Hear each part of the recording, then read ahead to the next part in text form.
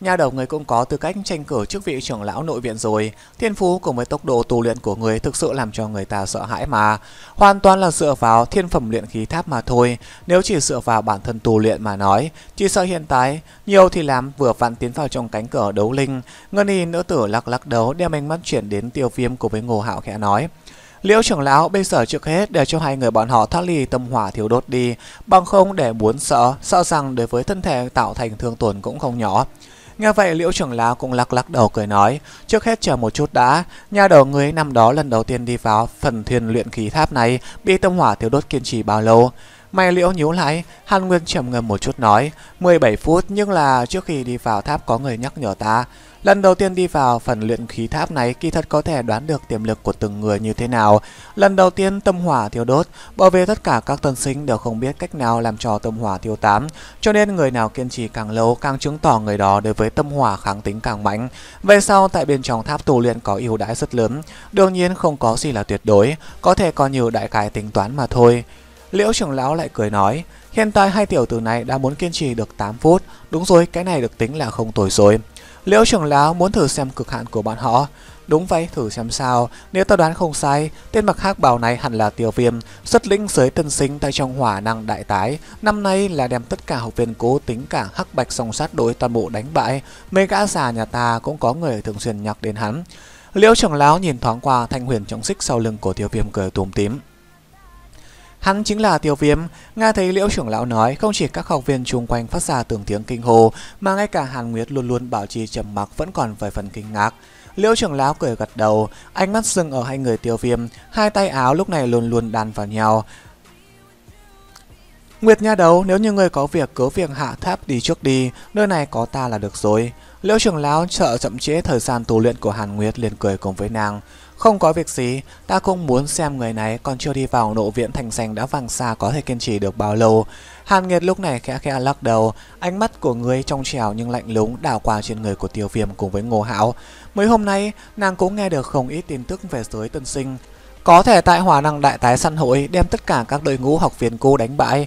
Những năm gần đây những chuyện như vậy còn chưa có xuất hiện qua. Bởi vậy đối với người thủ lĩnh tân sinh chưa bao giờ gặp mặt này, nàng cũng có một chút hứng thú.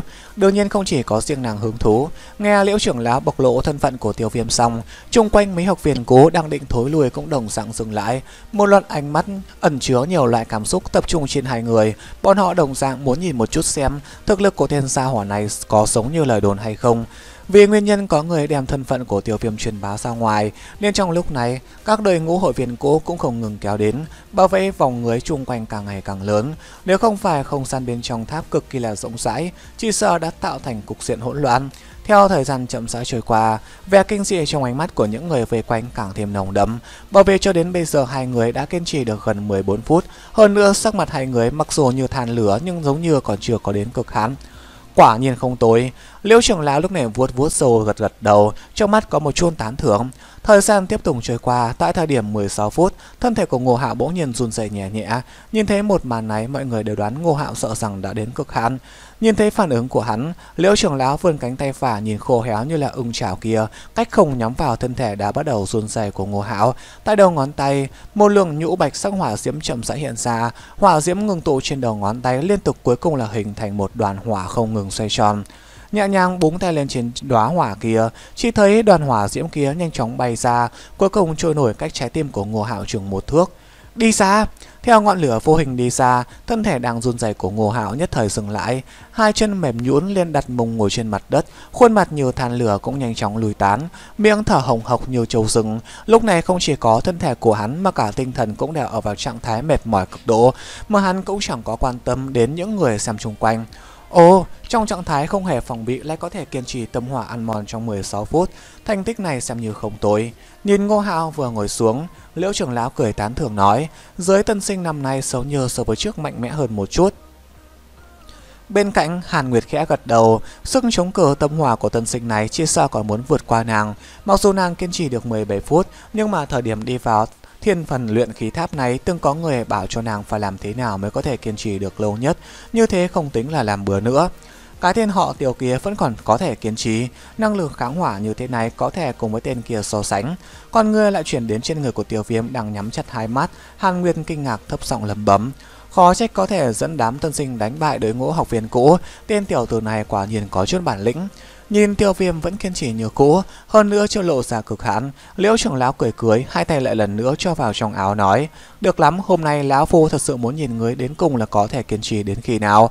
Nhưng mà lời nói của liễu trưởng lão vừa hạ xuống, mọi người liền nhìn thấy thân thể của tiêu viêm run rẩy một chút, trong lòng lúc này mới yên lặng thở vào nhẹ nhõm.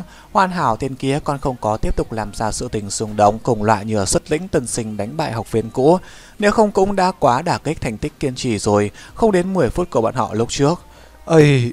Thấy thế, liễu trưởng lão ngẩn ra, chân lắc lắc đầu có chút hơi thất vọng cay đắng nói, qua thân kỳ vọng có chút quá cao. Liễu trưởng lão ước chừng 18 phút, sức chống cự tông hỏa như vậy đã xem như rất tốt. Thành tích này tại bên trong nội viện cũng tìm không được bao nhiêu người. Nhìn thấy vẻ mặt của liễu trưởng lão, Hàn Nguyệt không khỏi có một chút bất đắc dĩ nói. Hắn nói những lời này còn không cho những học viên khác tràn đầy xấu hổ trong lòng sao. Ha ha, quả thật là rất tốt. Liễu trưởng lão xấu hổ cười một tiếng, lại một đoàn nhũ bạch sắc hỏa diễm hiện ra, búng tay bắn ra, đoàn hỏa diễm dừng lại tại chỗ gần trái tim tiêu viêm. Đoàn nhũ bạch sắc hỏa diễm nhàn nhạt, nhạt chiếm lên trên khuôn mặt đỏ bừng của tiêu viêm trông có chút kỳ dị. Đi xa, lại là một tiếng quát nhẹ, đoàn hỏa diễm đột nhiên xoay tròn nhưng mà đúng lúc này, chuyện làm mọi người trợn mắt hàm hám mồm đột nhiên xuất hiện. Đoàn hỏa diễm xoay tròn, vô hình chi hỏa không thấy xuất hiện như là mọi người dự kiến. Ngược lại đoàn hỏa diễm chỉ chạy trong chốc lát, sau đó một cỗ ngọn lửa màu xanh to lớn đem đoàn nhũ bạch sắc hỏa diễm của Liễu trưởng lão cắn nuốt. Đoàn bạch nhũ hỏa diễm không chỉ không thể nào đem ngọn lửa màu xanh mạnh mẽ kia xua đi như lúc trước, ngược lại bị cắn nuốt không chút phản kháng. Màn quỷ dị này làm cho đệ tử chung quanh trợn mắt há mồm. Thanh liên địa tông hỏa cắn nuốt nhũ bạch sắc hỏa diễm cũng không có tiêu tán. Tại thời điểm không có ai khống chế nó, giống như nổi lên trên tác dụng tự động hộ chủ. Bởi vậy, sau khi thôn phệ đoàn nhũ bạch sắc hỏa diễm muốn uy hiếp tiêu viêm, lần theo hơi thở của người phát động công kích, trường tiêm quét về phía liễu trưởng lão, năng lượng thoáng chút bào đống không chỉ làm cho đệ tử xung quanh sợ hãi, ngay cả chính liễu trưởng lão cũng có chút động dung. Tản ra, Ngọn lửa màu xanh quét đến, cảm thụ được lực lượng công kích của hỏa diễm, Liễu trưởng lão quát to. Nghe được tiếng quát của Liễu trưởng lão, các học viên chung quanh vội vã lùi về phía sau, nhất thời không gian bên trong thám loạn hết cả lên. Một đám người vội vàng lùi về phía sau, sau bên ngọn lửa màu xanh không rõ lai lịch kia thổi vào người. Nhìn ngọn lửa màu xanh bay đến, Liễu trưởng lão khuôn mặt ngừng chóng, hai tay hủy động một cỗ nhu bạch sắc hỏa diễm từ trong tay bắn mạnh ra, với tốc độ cực nhanh hình thành một cái lồng, vung tay ném đi đem ngọn lửa màu xanh của tiêu viêm bao phủ lại. Theo ngọn lửa màu xanh truy kích đến, trong cái nhìn của mọi người, suốt cuộc hai luồng hỏa diễm đồng thời va chạm, âm một tiếng vừa tiếp xúc, năng lượng cuồng bạo liền bộc phát, chấn mạnh vào trong bạch sắc hỏa lồng khiến cho nó run rẩy một trận. Tiếng nổ thật mạnh mang theo liệt hỏa hỗn loạn bảo phủ, đem toàn bộ luyện khí tham chấn động run rẩy.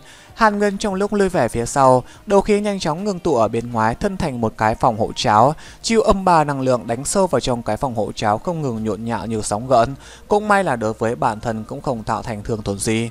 Thân hình cấp tốc lùi lại phía sau mấy chục bước, nghe được tiếng nổ dần dần hạ xuống, Hàn Nguyệt vội vàng đem ánh mắt nhìn về phía phát ra tiếng nổ. Sau khi nhìn thấy cảnh tượng phía sau, môi đỏ trần khẽ nhếch, lòng tràn đầy khiếp sợ. Bên trong cổ thăm rộng mở, một màn xương đạm màu trắng lượn lờ, chỗ bên cạnh xương trắng một thân ảnh giả nùa vững vàng đứng nơi đó nhưng lại mang theo vài phần hơi thở dồn dập. Lúc này, thần xăng của trưởng lão lúc này cấp tốc biến ảo, khi rung động, khi thì kinh hỉ, nhưng nhìn qua một chút phấn khích, mà đao bảo trên thân thể cũng bị đốt cháy hơn phần nửa. Đầu tóc bù xù, mơ hồ bốc lên mùi xú khí. Nhìn từ bên xuống dưới, liễu trưởng lão một nhân vật có địa vị không hề thấp tại nội viện, nhưng nhìn qua lại có phần chật vật. Cùng một lúc ấy bên trong đại sảnh, các nhóm học sinh cố vì tránh né hỏa diễm chạy xa khỏi phạm vi hỏa diễm cũng đã hồi phục lại tinh thần. Nhưng mà, vừa đem ánh mắt nhìn về hướng xảy ra vụ nổ, đập vào mắt của bọn họ là thân ảnh chật vật của liễu trưởng lão, lập tức tinh thần vừa mới dần lại lấy lại liền trở lên ngốc trễ. Có thể trở thành nộ viện thủ tịch trưởng lão, đối với thực lực bản thân có yêu cầu nghiêm khắc, bởi vậy các trưởng lão bên trong tháp không ai là không có thực lực cực kỳ cường hãn. Tại bên trong nội viễn, mặc dù có một số ít người thiên tài tuyệt thế trải qua khổ tu, thực lực có thể cùng một số trưởng lão so sánh, nhưng mà những người đó tuyệt đối là phượng màu lân giác, tồn tại hơn nữa ai cũng có thâm niêm ở bên trong tu luyện 4-5 năm mới có được thành tựu như vậy. Vậy mà bây giờ, liễu trưởng lão lại là bị một gã tân sinh vừa vào nội viện không được 3 ngày, làm cho chật vật như thế. Một màn này dường như so với lúc trước tiêu viêm đầu lĩnh tân sinh phản kích ở trong cuộc săn hỏa năng, càng làm cho người ta cảm thấy ngạc nhiên cũng khó có thể tin được.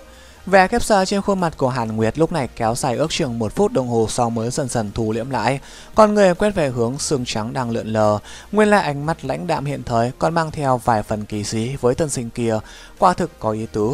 Khụ, cổ tháp đang trong phòng im lặng bị tiếng hò khan đánh vỡ. Liễu trưởng lao gắt gao nhìn chăm chăm vào mảng xương trắng đang lượn lờ. Chân cúi đầu vỗ vỗ bộ quần áo đã bị đốt sách dưới khẽ cười nói. Khá lắm tiêu viêm khó trách khi mà người tới mấy lão xảo kia cũng luôn luôn thần bí hề hề. Hóa ra là có thứ này, thật là tiền được trời cao chiếu cố. Loại vật này, các trưởng lão bên trong tháp không một ai là không thèm muốn. Lời nói của liễu trưởng lão, các học viên cố bên trong tháp tất nhiên là nghe mà không hiểu gì. Có điều có thể sở hữu một đồ vật gì đó. Tiêu viêm này dường như có thứ đồ vật gì đó thần bí mà ngay cả các trưởng lão cũng muốn tìm. Khẽ huy tay áo báo, liễu trưởng lão đem mặt đất tràn ngập sương trắng mờ mờ thổi tan, có tiếng bước chân nhẹ nhàng từ trong màn sương truyền ra. Điều này làm cho liễu trưởng lão dừng lại động tác, ánh mắt chăm chú nhìn vào bên trong màn sương mờ. Tiếng bước chân chậm rãi vang lên trên quanh quẩn trong cổ tháp, mọi người trước sau đem ánh mắt hướng về phía tiếng bước chân truyền ra. Bất kể như thế nào, lúc trước tiêu viêm bộc lộ ra thực lực mạnh mẽ đã đủ để cho bọn họ đem thân phận tân sinh quét mất. Mặc dù bọn họ không biết được rằng phần lực lượng này không phải tùy tiêu viêm điều khiển, mà là thanh liền địa tâm hỏa ngẫu nhiên bùng phát ra khả năng hộ chủ. Nếu muốn tiêu viêm tự mình dẫn đạo thanh liền địa tâm hỏa bùng nổ ra lực lượng có thể bức liễu trưởng lão thành bộ sáng chật vật như vậy, tuyệt đối khả năng thất bại là 9-10 phần. Theo tiếng bước chân càng ngày càng gần truyền đến từ bên trong lớp xương trắng, một thân ảnh mơ hồ xuất hiện ra, bóng người một chân bước ra khỏi làn sương mờ, xuất hiện trước ánh mắt của mọi người. Một thanh niên thân mang hắc báo, lưng đeo huyền trọng xích còn muốn cao hơn thân, tay trái mang theo ngô hào sống nhờ đã muốn hôn mê. Nhíu máy, ánh mắt chậm rãi đảo qua đám người chung quanh, mà mấy tên học viên cố chạm đến ánh mắt kia, chỉ chưa một số ít người có lực lượng không kém xa, phần lớn những người khác bị phụ nổ làm cho kinh sợ mà hơi có chút né tránh. Chắc chắc dĩ nhiên là bằng vào lực lượng của mình tự có thể tỉnh lại từ trong tâm hỏa thiêu đốt. Tiêu viêm qua nhiều năm như vậy ngươi là đệ nhất nhân đó. Nhìn tiêu viêm trạng thái đã hồi phục lại, liễu trưởng lão ngẩn ra chợt thở dài nói. Ngay là nhìn lão giả có hình tượng cực kỳ chật vật, tiêu viêm có chút nghi hoặc mở miệng hỏi. Ha ha, ta là thủ hộ trưởng lão của thiên phần luyện khí tháp tầng thứ nhất, ngươi có thể gọi ta là liễu trưởng lão. Liễu trưởng lão lại cười nói, trong lời nói hoàn toàn không có nghiêm khắc khiển trách như là đối đãi với các học viên cũ. Tiêu viêm được đái ngộ như thế liền làm trò trung ngành các học viên cũ thầm mắng. Tại thiên phần luyện khí tháp, thậm chí là toàn bộ nội viên, các trưởng lão đều có thân phận cực cao. Ở trong này, lời nói của bọn họ không một học viên nào dám vi phạm, đương nhiên là trừ một số ít học viên vĩ đại ở ngoài, bởi vì số ít học viên vĩ đại ấy không có cơ hội có đường chức vị ngang hàng với bọn họ. Bên trong nội viện này, mặc dù bọn họ là trưởng lão nhưng sau này cũng phải mượn sức các cường giả vào cùng một trận doanh. Dù sao các trưởng lão bên trong đội viện cũng không thực sự cùng một phe phái, địa phương nào thì cũng đều không thể thiếu đường tranh đấu, có lẽ vì quyền, có lẽ vì lợi, có lẽ vì một số đồ vật gì đó. Ồ, ngay là liễu trưởng lão, tiêu viêm nhìn hình tượng của liễu trưởng lão không khỏi có chút kinh ngạc hỏi. Ấy, không cẩn thận khống chế hỏa diễm để xảy ra điểm sự cố,